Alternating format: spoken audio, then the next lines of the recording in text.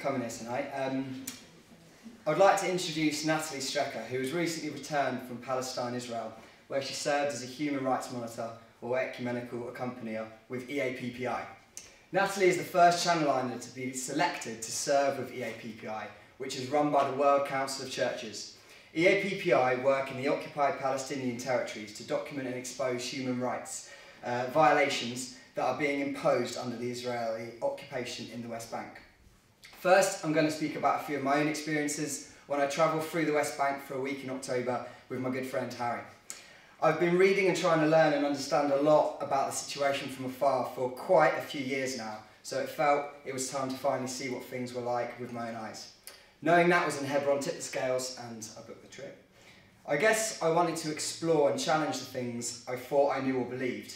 From home, I sometimes questioned whether I was reading things more from one side, whether or not things were exaggerated, was I unfairly biased in some way, what was life in occupied West Bank really like?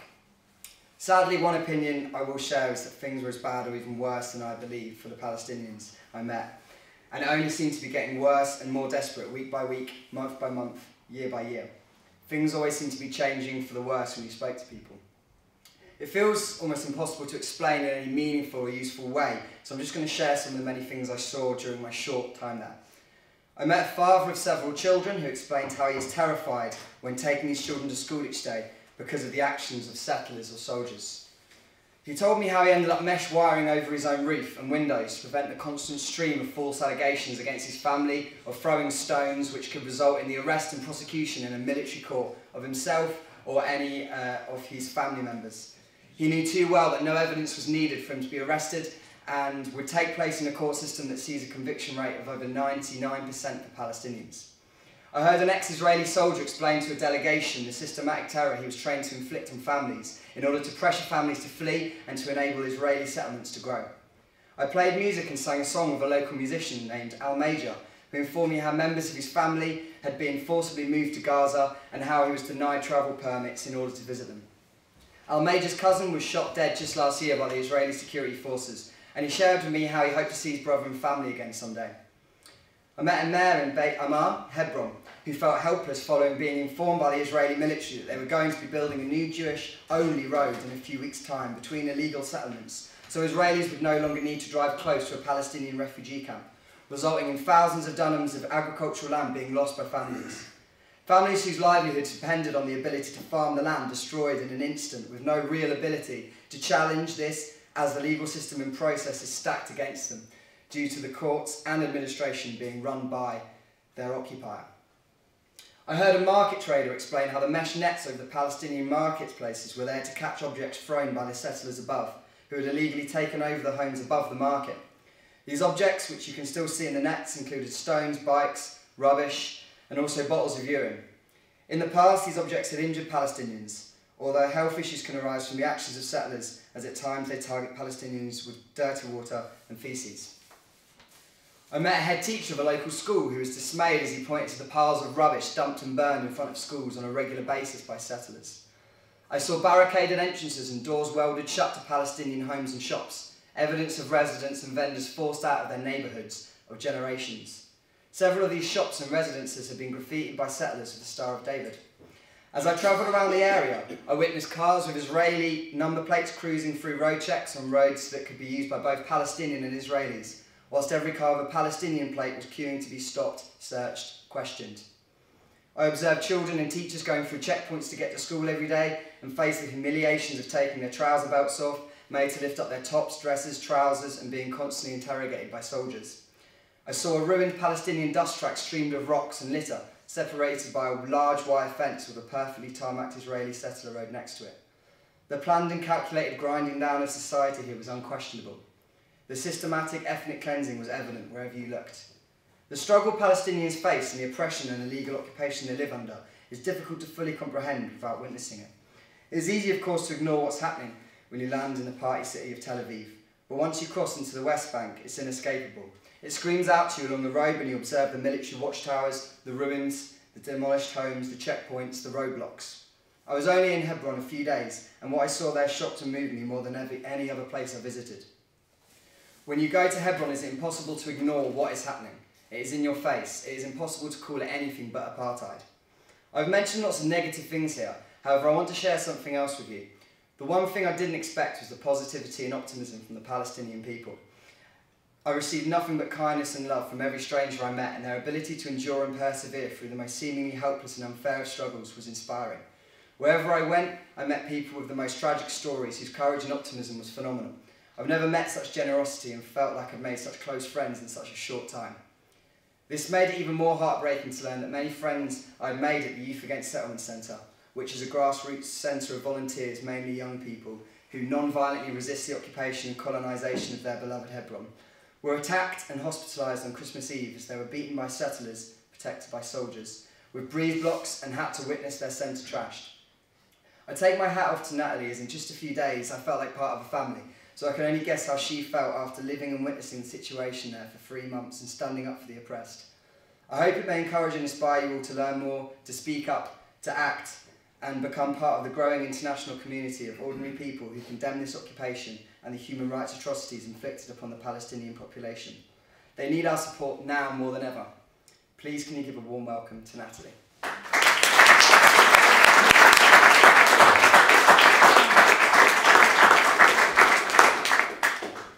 Good evening. So for those of you who don't know who I am, I'm Natalie Strecker and I recently returned from having served three months as a human rights monitor in the city of Hebron in the occupied Palestinian territories. I'm just going to show you a map here for those of you who don't know the region because I found out from lots of young people I've met that people aren't aware of Palestine. So here we have um, obviously a world map and you can see it really is just a tiny area. Um, here you see it. The orange or peach kind of area is what is um, recognised now internationally as Israel proper. And oh, crumbs, we're having problems with our technology today, so I'm hoping it won't fail too often. The green areas are what is recognised as the occupied Palestinian territories, and I was based here, down here in the southwest, in the city of Hebron. Now, I want you all to do something for me. I want you to reflect back on your school years. For some of you, that will be a lot longer than others, but I want you to think back to that time and think about a teacher that stood out for you. Now, it may be a teacher that was your favourite, but a teacher that for one reason or another made an impression on you. And I want you to think about that teacher and to picture them. I also want you to do something else for me. I want you to think back to a day at school that stands out for you. Think about what is it about that day that makes you remember it particularly? Was it a good day? Was it not such a good day? But what was the reason for it standing out for you? Now, it really took me quite a while to put together this presentation because we're encouraged by EAPPI, who I went with, who I'll explain a little bit about um, further down in the presentation, to focus on one or two stories of my time there. And you can imagine after three months in Hebron, it was really difficult with all those stories whizzing around my mind, all of equal importance to think about just a couple that stood out for me. But as I work in education, and it's an area that I'm very passionate about, I've decided to focus on this particular subject. But obviously this means that there's many other stories that I won't be able to share with you this evening. So, were you able to picture a teacher? Can you remember why? Can you remember their name? My um, teacher that stands out for me is Mrs. Bunting when I was at Hautlieu. Anyone who went to Hautlieu might well remember her. But she was a wonderful teacher who always encouraged me to stand up for what I believed in. But she also did something else. She taught me to question um, things, whatever it was that I learned, to really inform myself. And I think that's such a terribly important thing that we miss um, today. And I think it's led us into some really dark areas, both historically but um, equally more recently when we look at the world situation. So when I was in Hebron, there was a teacher there that stood out to me for an altogether different reason. It was a teacher who stood out to me because she told me she was scared. I can't tell you her name, I, even though I saw her every single day when I was undertaking the work that I did, but I can see her face and I'm going to show you a photo. So you see here, this is some teachers standing at the checkpoint. The lady there with the um, pink um, headscarf, her name is Nora. She was the um, headmistress for the school that we mainly focused on, which is a school called Cordoba School, which was on Shuhada Street. And you can see another teacher standing behind her, and just between the bars is the teacher that I'm referring to. Now, it's not this situation that led her to tell me she was scared. This is a normal everyday scenario that they find themselves in where they're waiting at the checkpoints for the um, Israeli um, military to open the checkpoint so they can go through and head to the school where they'll be teaching that day. I'm going to come back to that story, but first of all I'm going to show you a map of where it was I was positioned. So here we have the city of Hebron. So Hebron itself as, as a territory is a, is a huge area of lands. There's lots of agricultural lands.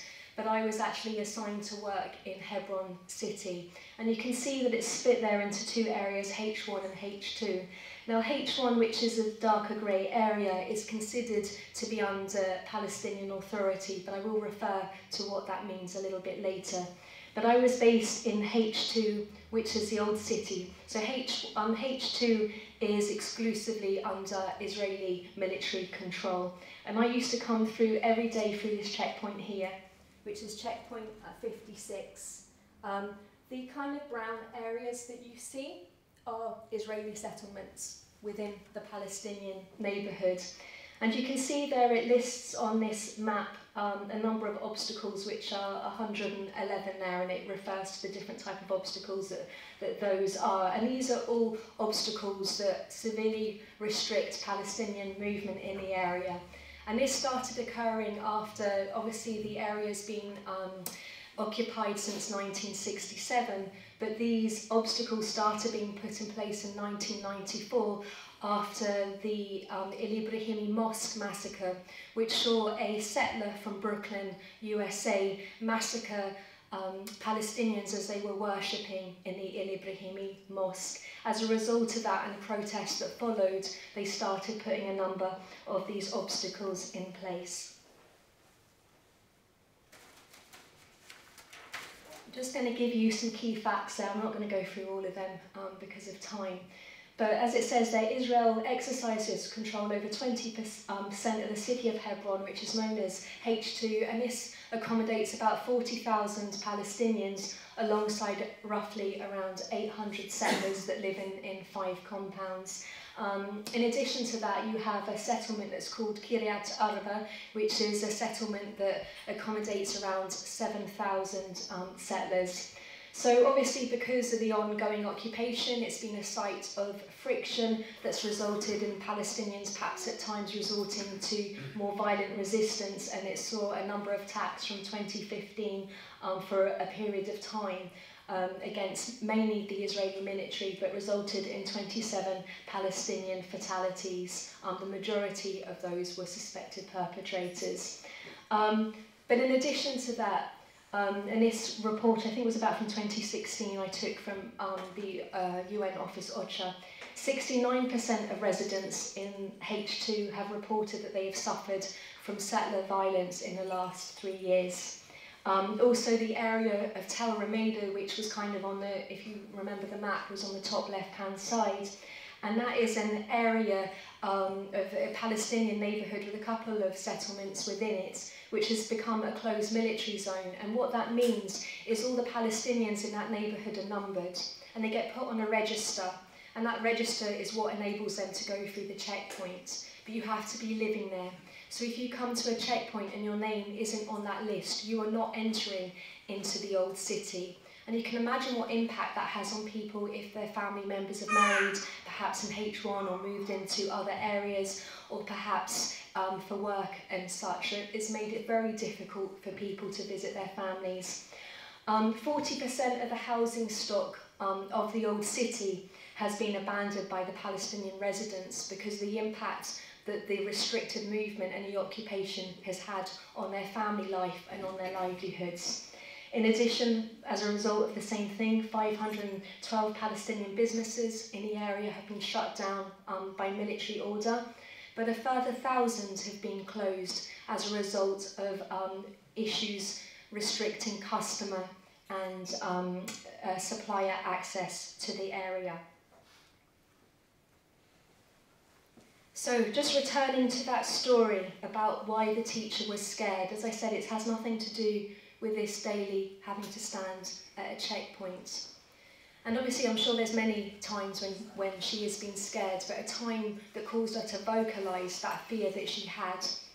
And the first um, account I'm going to refer to, because there were two, two accounts where this happened with this particular teacher, And it was when we were giving protective presence for Cordoba School. Now, there's a number of schools, there's 10 schools, in fact, in the old city in, in the H2 area. But unfortunately, due to the lack of international presence, we're actually only able to monitor. We um, three between different organisations, um, three that we kind of supported with, um, but the one that was our priority was at a school called Cordoba School.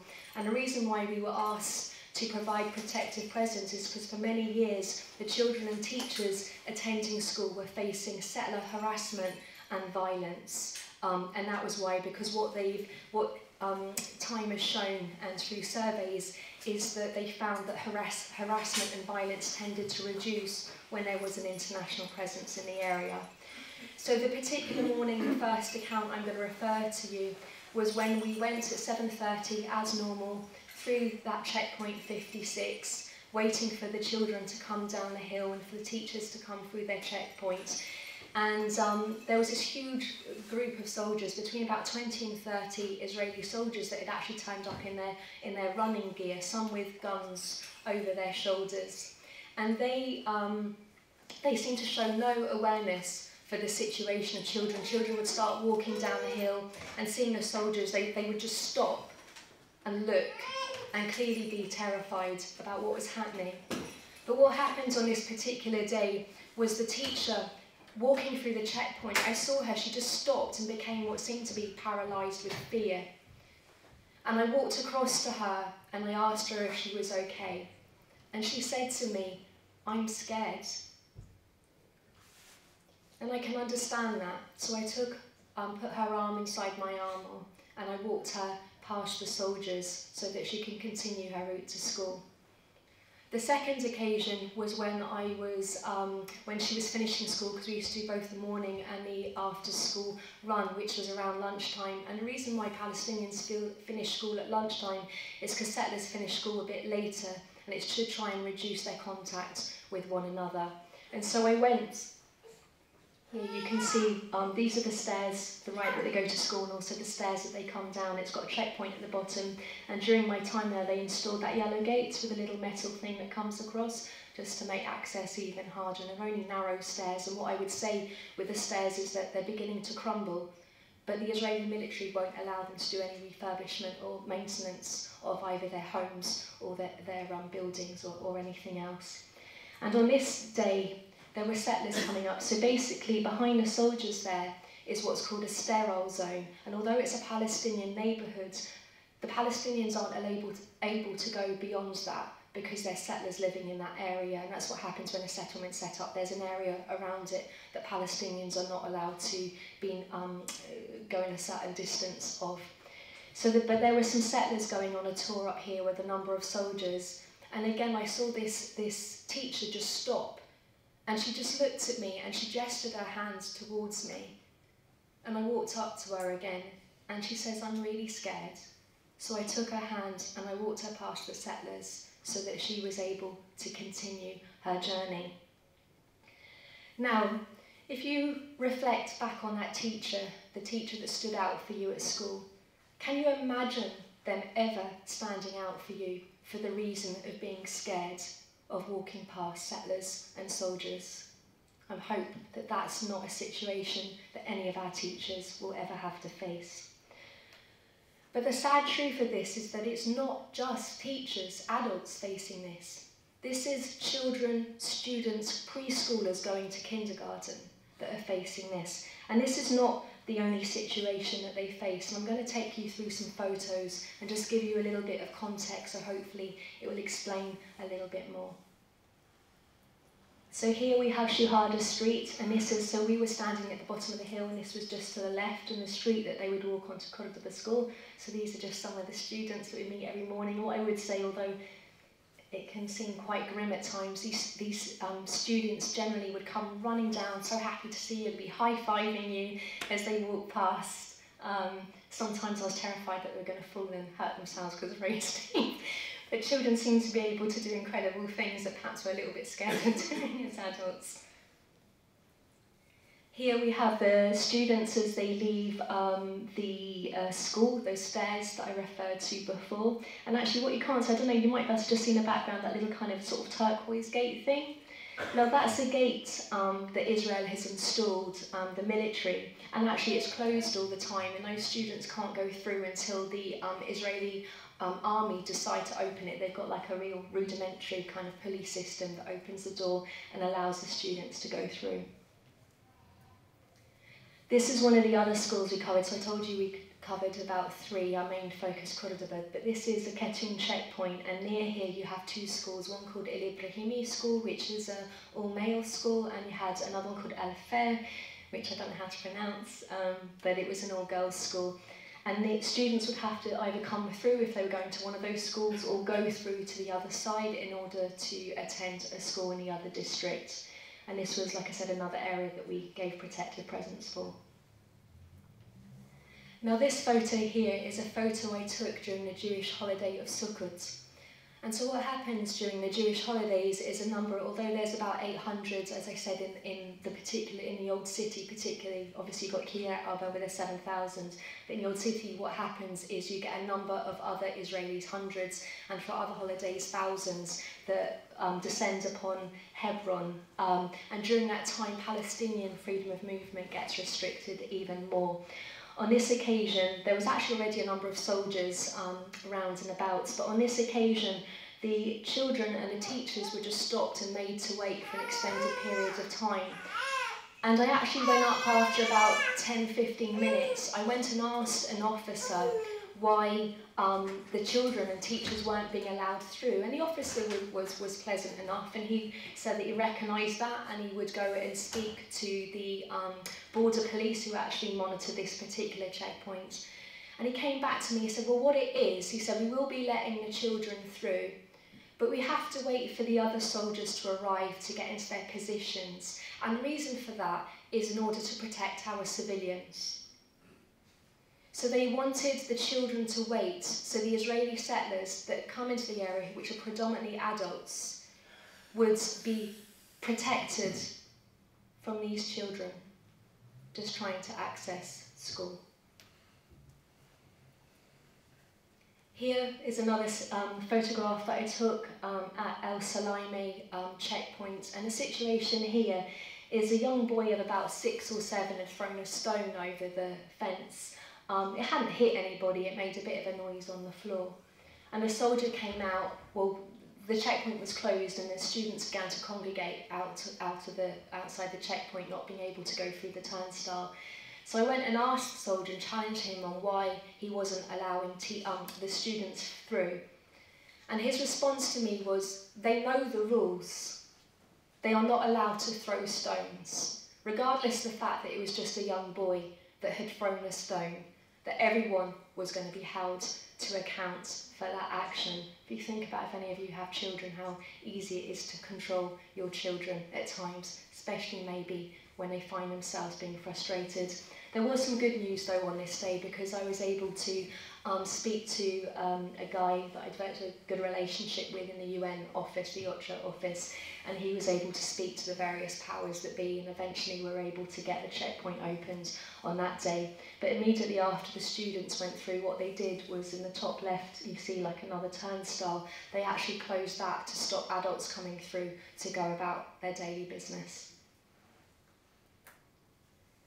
Now, you might be asking yourself what that smoke is. That's tear gas. And for weeks on end when I was there, almost on a daily basis, we witnessed or heard, if we weren't in, immediately in the district, sound grenades being thrown as students were leaving school and also tear gas. For no discernible reason, we went and found out what was happening, but for no discernible reason, this was something else the students were having to face.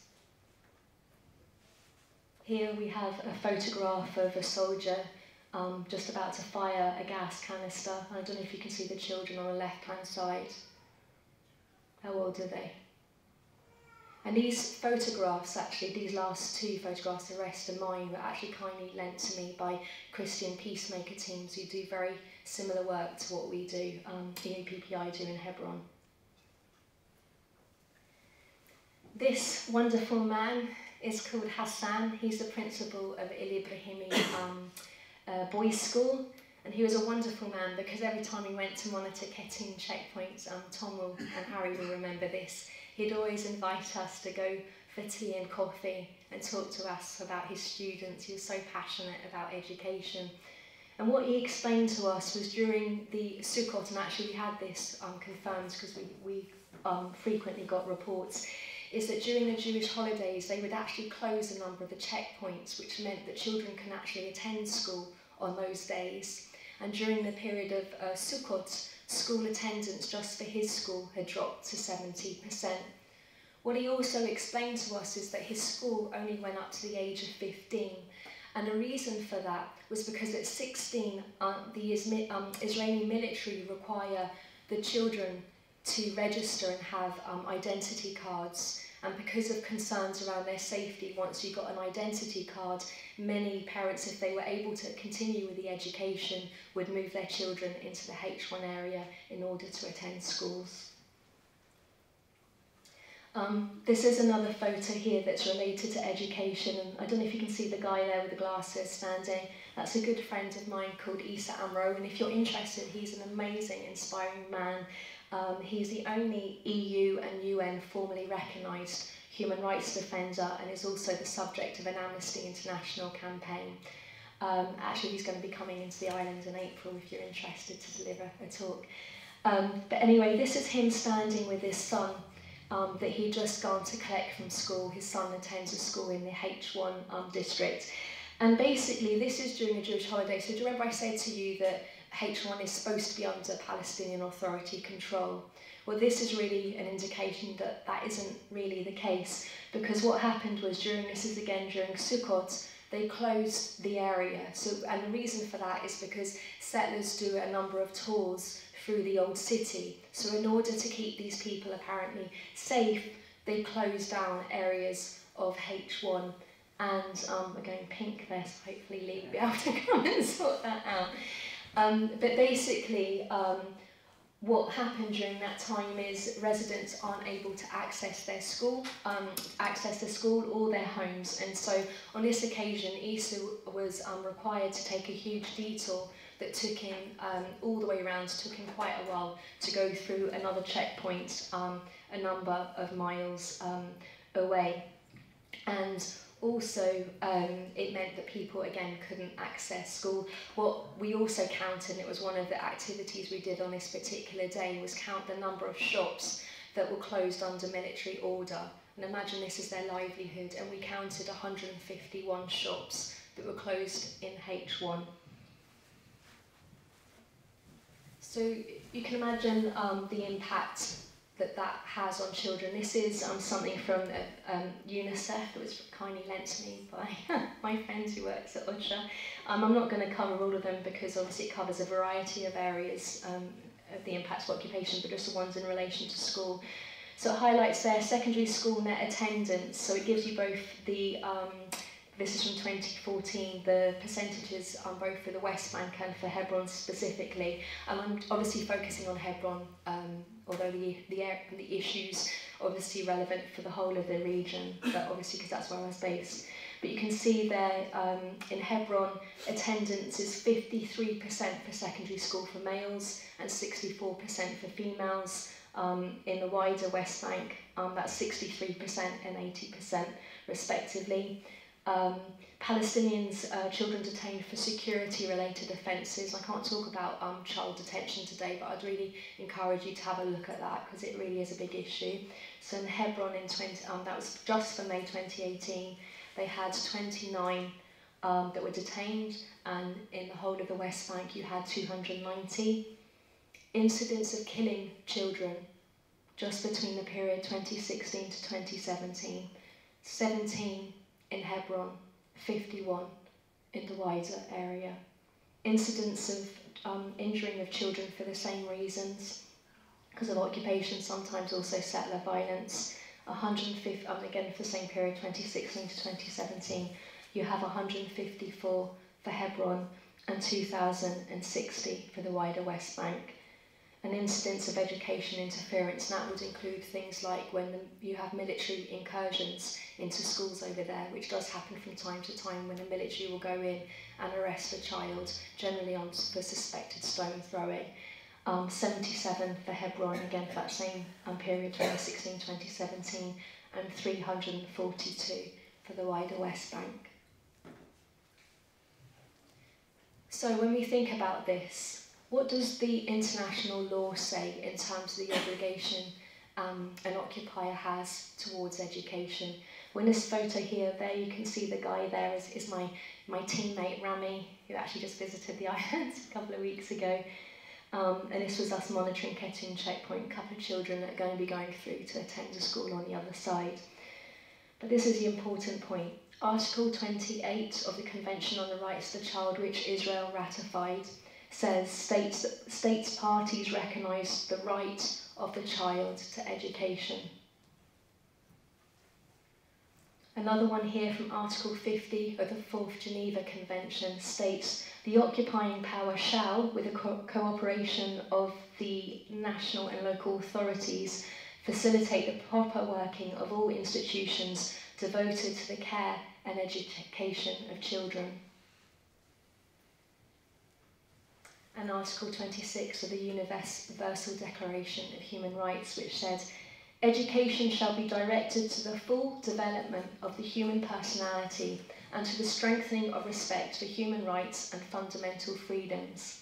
It shall promote understanding, tolerance, and friendship among all nations, racial, or religious groups, and when I consider that law, I have to ask myself how the occupation continuing in the manner it did it does, how and what is it promoting to the Palestinian people, to those children growing up in this environment?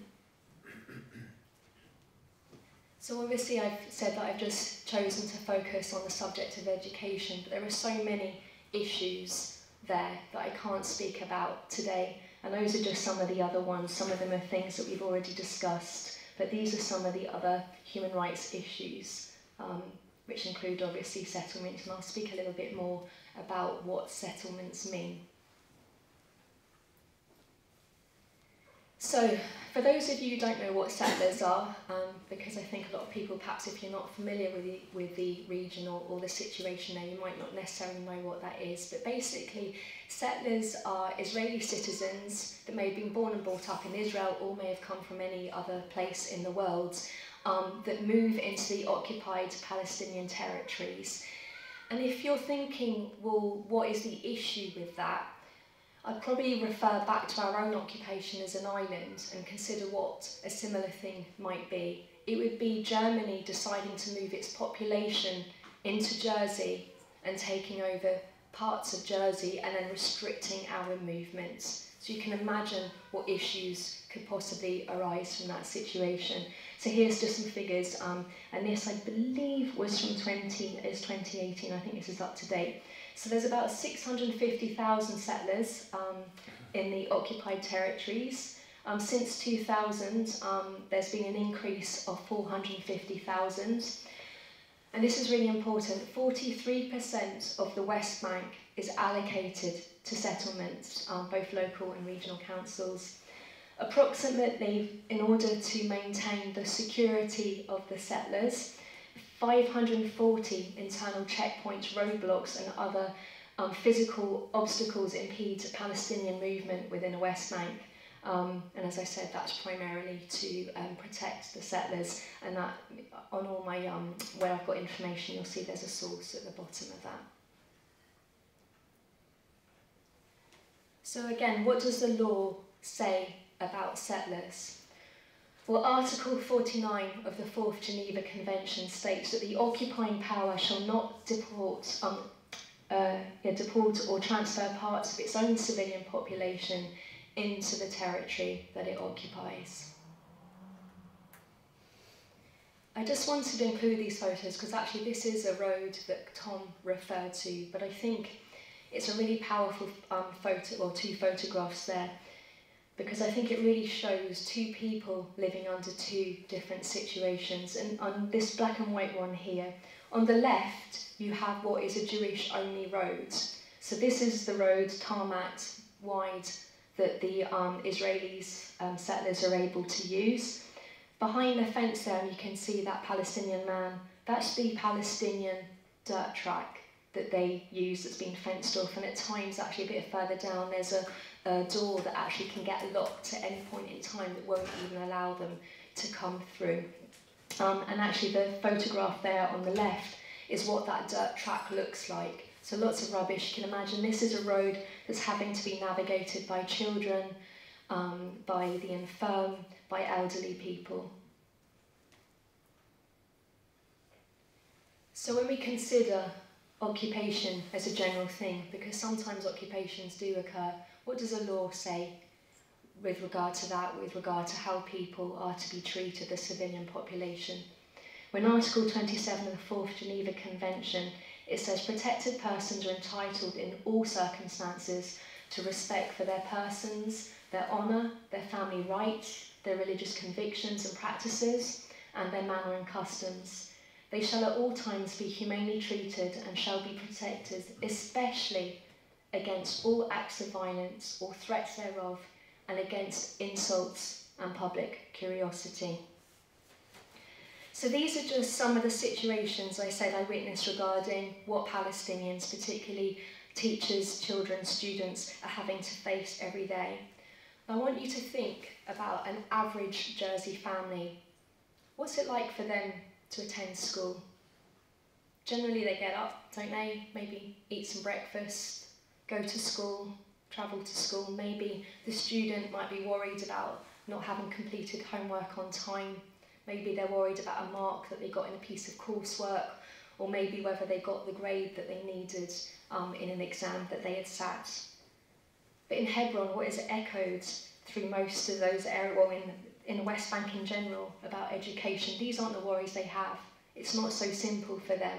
Their reality, the things they need to worry about when they get up, is checkpoints, settler harassment and violence, child detention, tear gas when they leave school, etc., etc.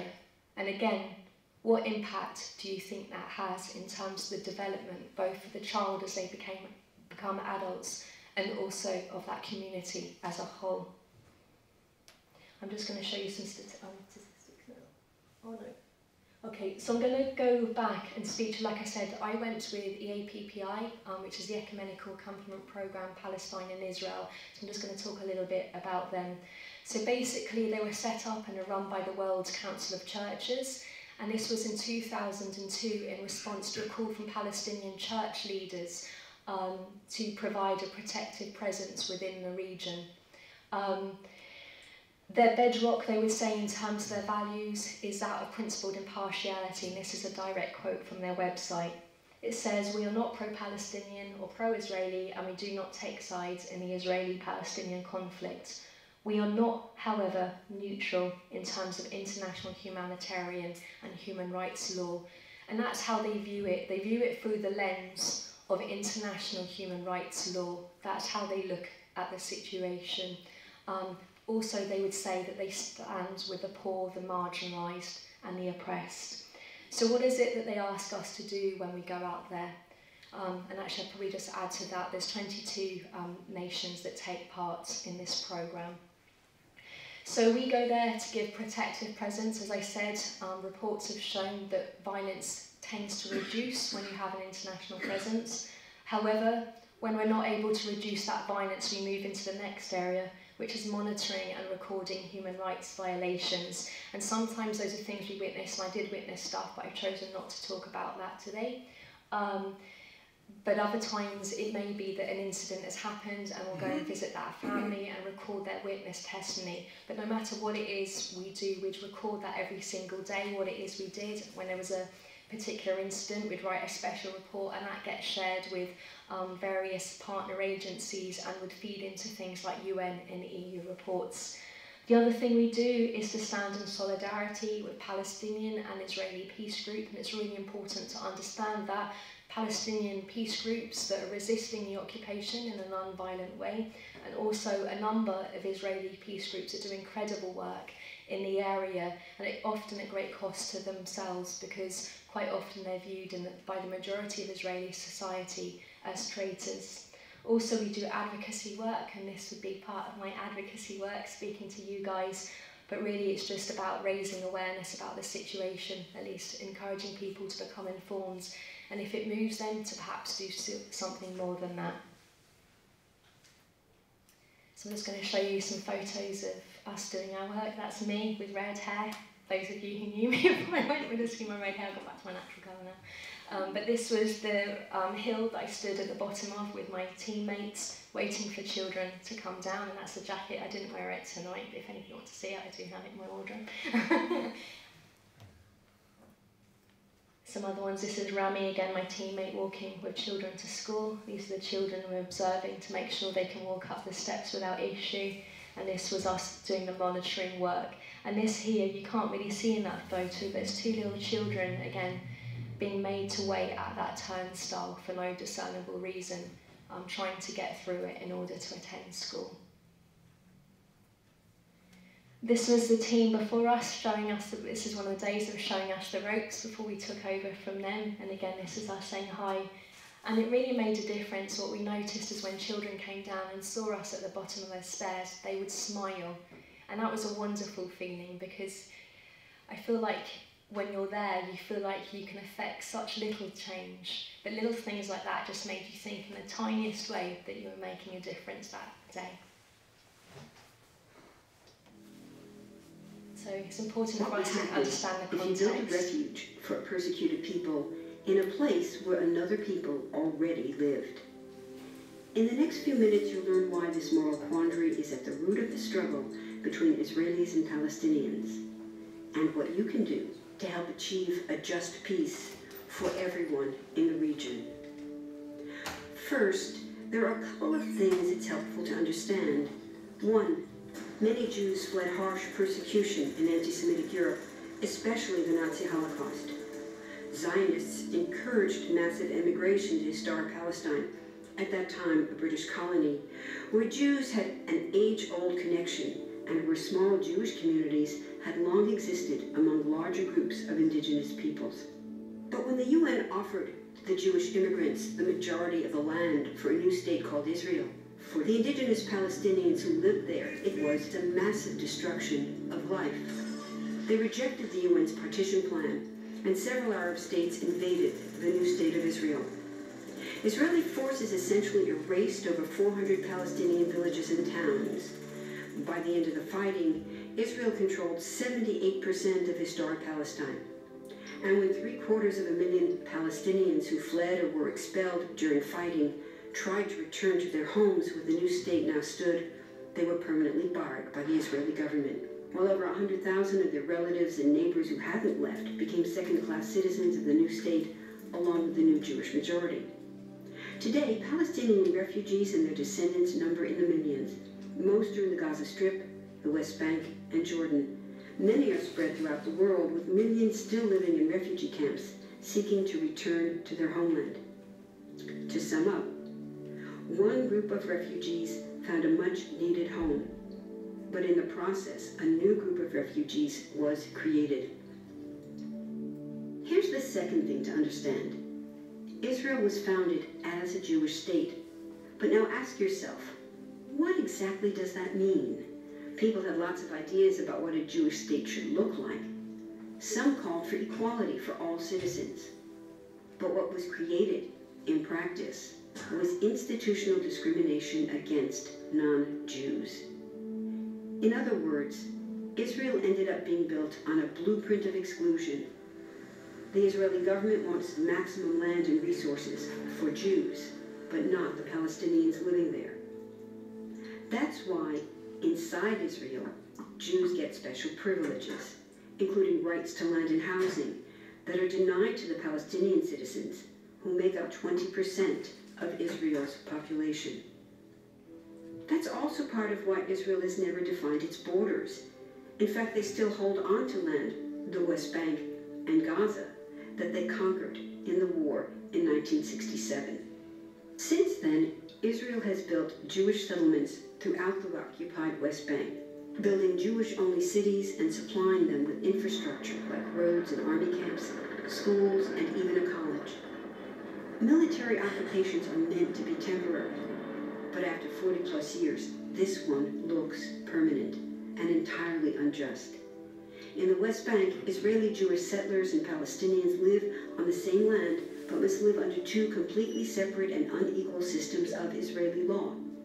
The Jewish settlers dominate the natural resources, including water and agricultural land, and they're backed by the Israeli army.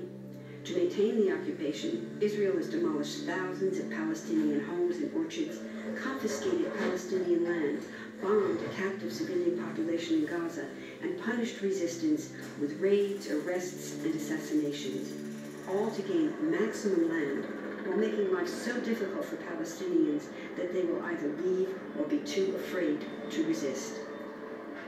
Palestinians have fought back.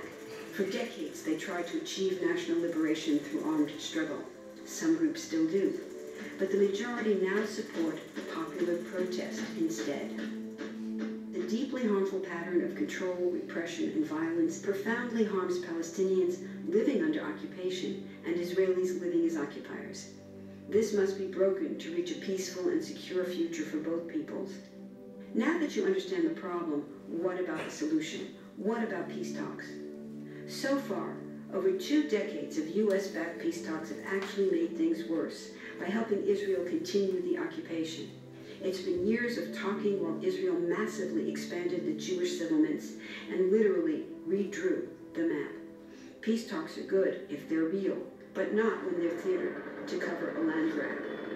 So now what? The current world superpower, the United States, has been a terrible friend, enabling Israel's destructive and self-destructive expansion onto Palestinian land by funding the Israeli military, the biggest recipient of U.S. foreign aid in the world.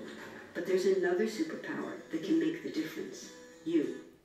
Okay, so that was actually um, a video that's created by an amazing organisation called Jewish Voice for Peace and I thought it's really important for us just to get a little bit of context because you might be asking, well, how have we ended up in a situation we're in? It's from a few years ago now because actually the occupation has, con has been continuing of the West Bank for over a hundred, um, a hundred, sorry, getting distracted by the technical issues, um, by over um, 51 years now.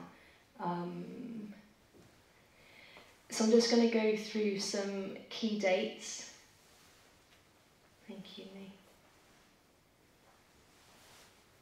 Okay, so I'm not going to go through all of these, just some of the most important that kind of reflected. So the Zionist movement um, was a movement that was set up in 1897 in Europe um, as a consequence of the persecution that Jews had faced for centuries in the region.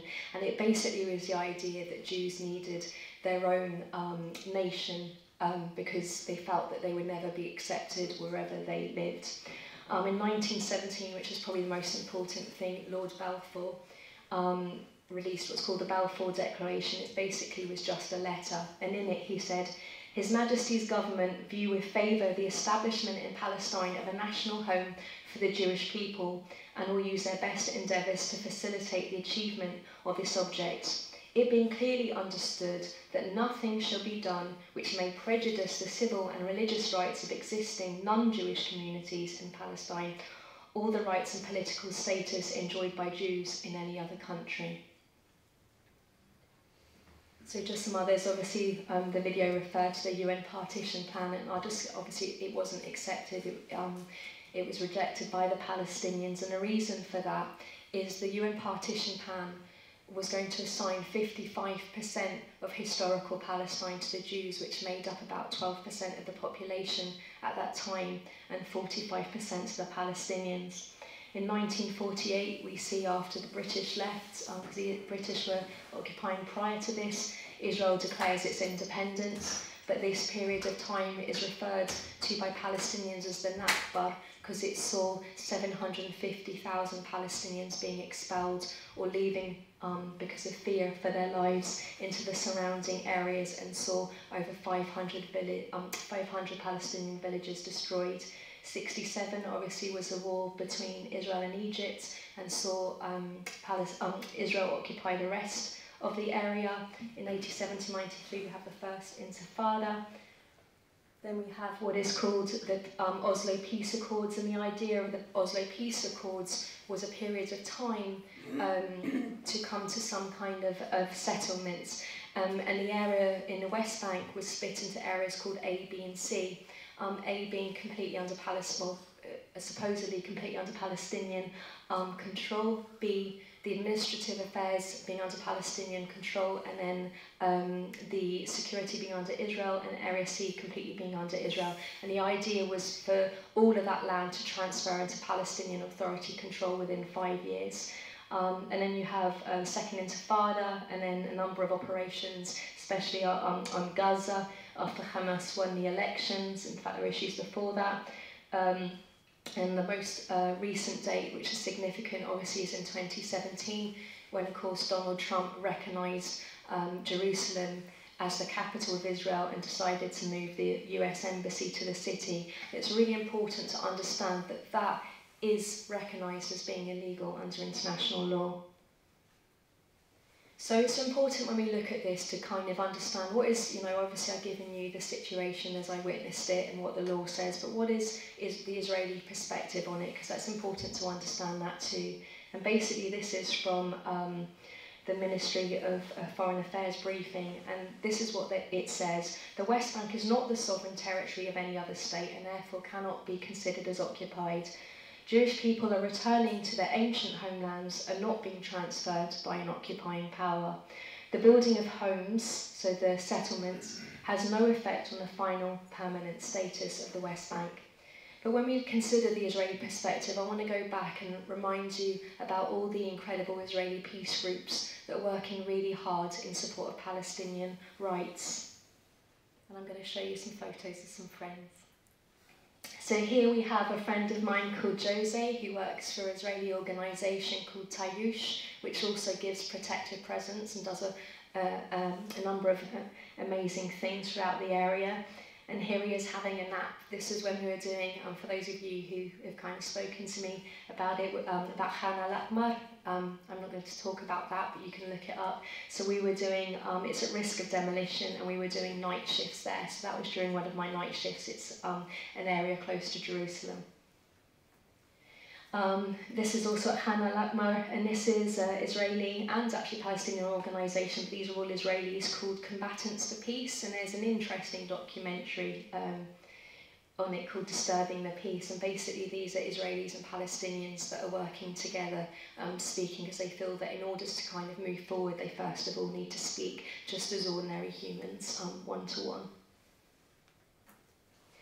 And this is a former Israeli soldier from Breaking the Silence. And Breaking the Silence is an organisation where when soldiers have left the Israeli army, they basically are whistleblowers and they talk about what it is that they're required to do as occupying forces. Um, also, you'll find, you can find them online, Breaking the Silence, and you can hear a lot of their witness testimony, which is really important. Um, some of them will actually be whistleblowers whilst they're still in the army, which is also why their names are kept um, anonymous. And actually, on um, one of the times I was there, I walked down and gave protective presence to Breaking the Silence because they also find that they get attacked often by settlers also who perceive them as traitors. And I just want to go back again to thinking about the day at school that stood out for you. You know, hopefully you remember why it stood out for you you know, randomly for me when I was thinking about this, because I think that's the thing, is when I was in Hebron and considering what the children were facing on a daily basis, it made me think about what days they will reflect back on. And because of that, it made me think back to my days. And one of the days that stood out for me was um, a day at Hautlieu when I had my name shouted out across the, uh, the school hall by Mrs. Webber who called me across and gave me a good telling off for wearing luminous socks that didn't conform with the uniform. Anyone who knows me might find that as a bit of a surprise that I wasn't conforming to, to school uniform. But I think that what I want to say is that imagine these children, what they're facing, what are they going to be reflecting on when they're older?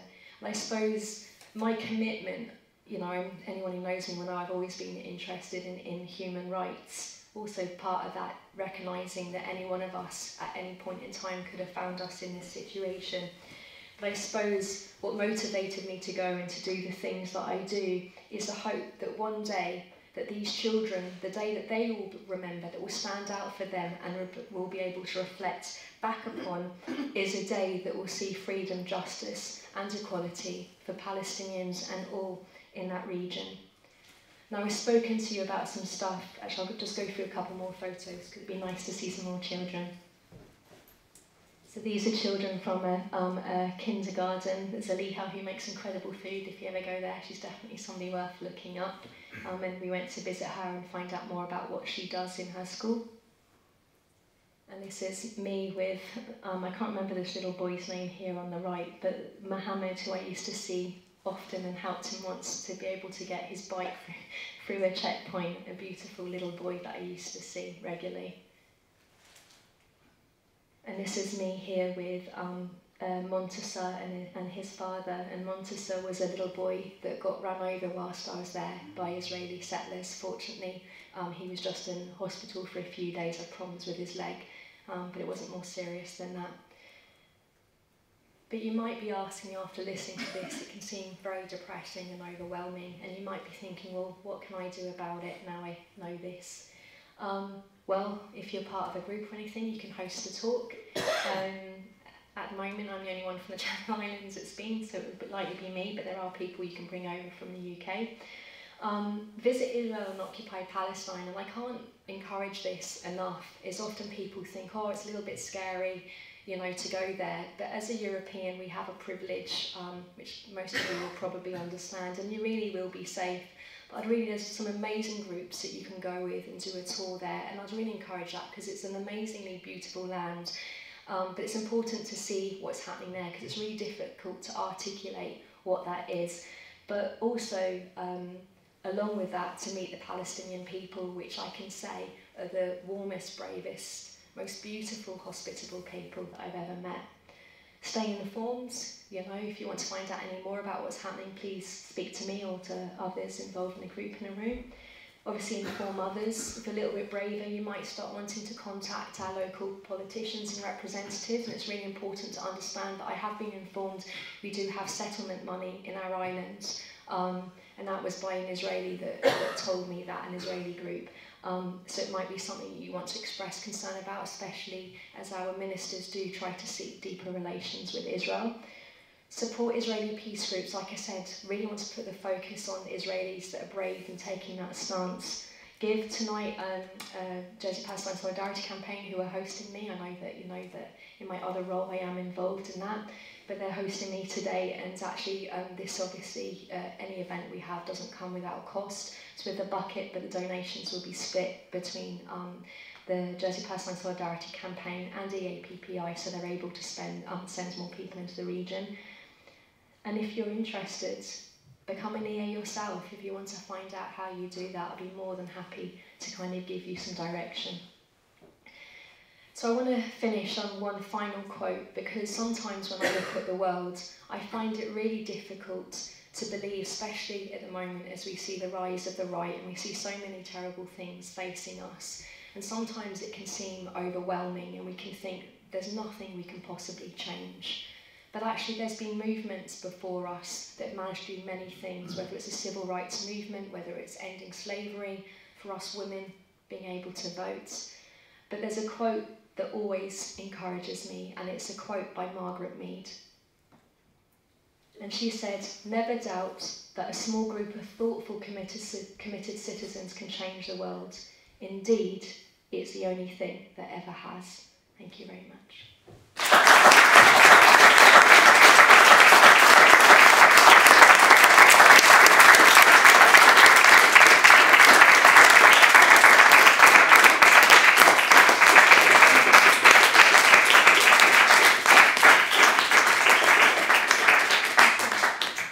Thank you. And if anyone's got any questions, please fire away. Or if you're tired because it's gone a little bit longer than I hoped, then please feel free also to go.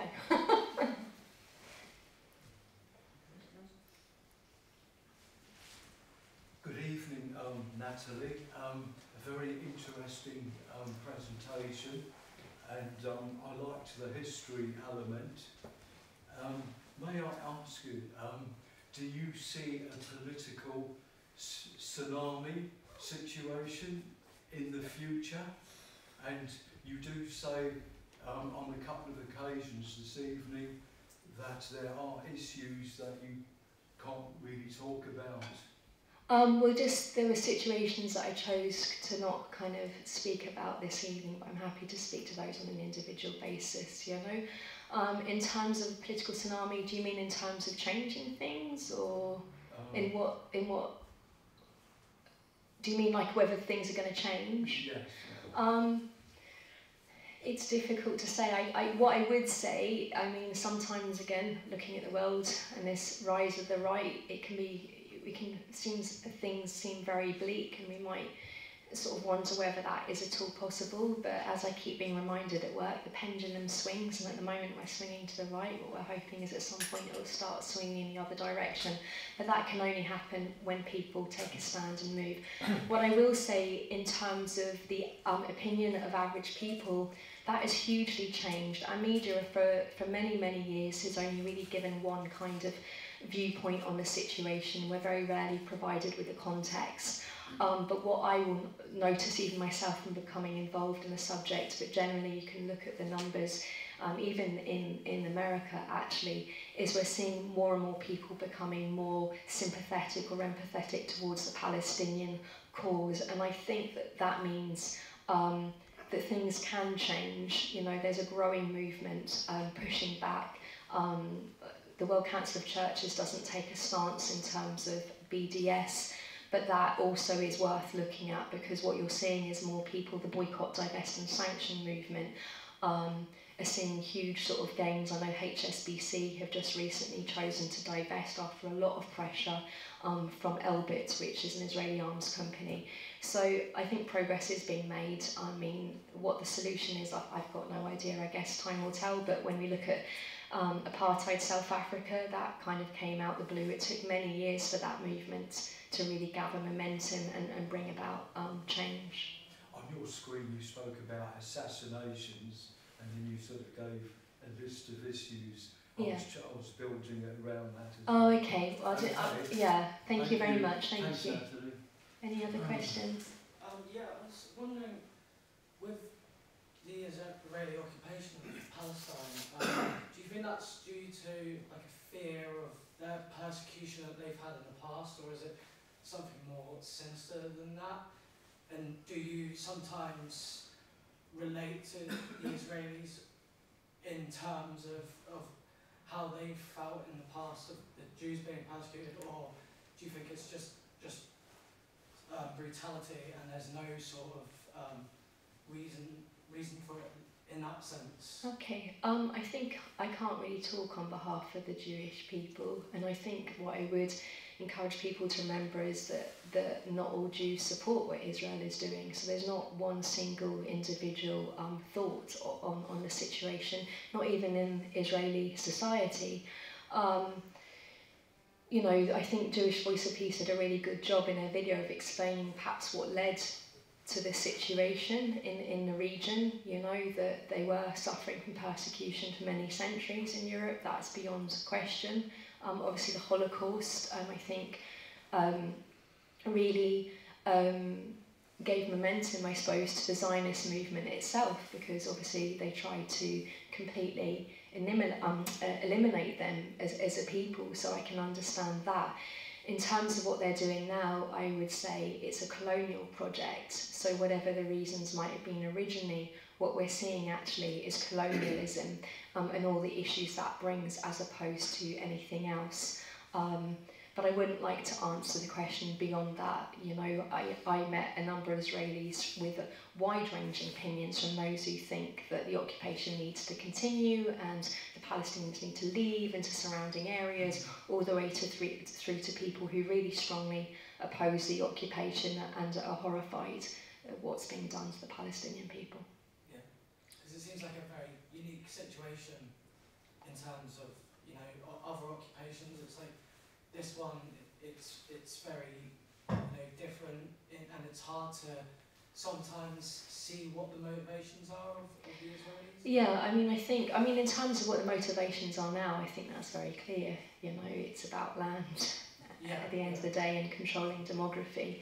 Um, in terms of um, anything else, it's a bit, you know, yeah, it, it's a difficult, it's a protracted occupation. It is different because it's gone on. I mean, it's the longest occupation in, in modern history. And it's more than occupation, I would say that there's other elements involved, like I said, colonialism, um, segregation, and all these other things. And Gaza, obviously, which is under um, an illegal blockade, is something altogether different and quite often gets forgotten in when we look at the region and, and the area. Uh, how do you feel about change coming around uh, solely through education and uh, generational like su- succession and the indoctrination of parents on the next um, the next generation of what could be either you know kind of like neutralists or you know soldiers on either side. How, how do you feel about how do you feel about that? How do I feel about how it's affecting people, the indoctrination, in terms of how they view stuff going forward? Yeah, well, the, the extent of it something being perpetuated just by by the people that are in, in the struggle. Okay, um, so what I would say is obviously when you've got something that's going on for so long, and in order to inflict that degree of oppression on another people, you first have to dehumanise. That's a fact. History shows us that because actually, I really believe that most of us are decent enough people. We don't want to harm people. If we look at our own colonialist history, in order for us to accept what was done to other countries, you first of all had to view other people as less civilized, less human than us, and that's how we start accepting things. So I think you see very similar in terms of that area. But like I said, everybody's different. You know, I met, you know, even when I was there in, in Hebron, I saw soldiers who came from a unit called the Nahal unit, um, who had. Um, who clearly were very uncomfortable about being in occupied territory. So all, all the indoctrination they might have received, and you know the so the military goes into nursery schools, kindergartens, all the way up to universities, and obviously they conscripted into the army. Um, so they do have that indoctrination. It's a very militarised society. I won't go into all the ins and outs of, of sort of things that I've heard because we did have a talk on the subject by an Israeli, amazing woman you can see on Twitter called Ruth Hiller. Um, but I think that actually a number of those soldiers, when they go into it, you know, no matter how much somebody's being dehumanised, they're then having to be face to face with them and see children and see people and see what it is, and that's why a number of them end up joining things like breaking the silence or um, also uh, Israel has some of the highest um, suicide rates for for army for um, you know for forces um, and that's really important. But in terms of other people yeah I would say if you want to understand what Israeli perhaps the general consensus is I'd have a look at the Israeli elections now and how people are running and on what platform they are running on. Because if you look at people like Benny Gantz um, his advertising campaign is a video that shows um, the number of Palestinians that were killed in Gaza and how and, and proudly states how he bombed Gaza, parts of Gaza back to the Stone Ages. Um, another candidate who's running um, has an interview with a guy um, proudly who he associates himself, himself with called Elor Azaria. And Elor Azaria was based in Hebron and is seen there was an incapacitated Palestinian who was suspected of having stabbed or attempted to stab a soldier, um, an occupying soldier, and he went as he was lying on the floor and shot him in the head. Um, so I would say if you want to understand what the consensus is, have a look at how people are running their campaigns. Thanks. Is that good? Thank you. Um, Okay, well thank you. Sorry. I- I- sorry, Yeah, just- I, I, um, this is a very sensitive issue. Okay. Um, it's also on the 28th of January, um, Monday. Um, this will probably frighten people. Um, what it is, um, I didn't listen to the whole thing, Um, It was on the Jeremy Vine show, um, lunchtime at 12 o'clock, and um, they have said that um, one out of 27 people do not believe that the Holocaust took place. Yeah. And that's horrendous. Um, Yeah, what I would say is I don't really want to bring Yes. that conversation up here no, because I I- think it's a separate issue it's really important. that. Yeah, that's horrendous. And I think, no, thank you, Derek. And I think Thank what I would say is that that shows a real Yes. concern. And this is what I'm saying about the rise of the right. And that's really concerning. And we should all be working against that, you know. Um, but I'm not going to bring the Holocaust Oh, question no, up because no. I think it's a completely unrelated um, topic. Everybody good? All right, thank you so much, guys.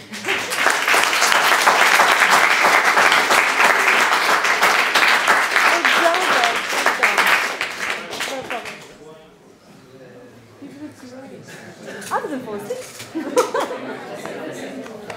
No,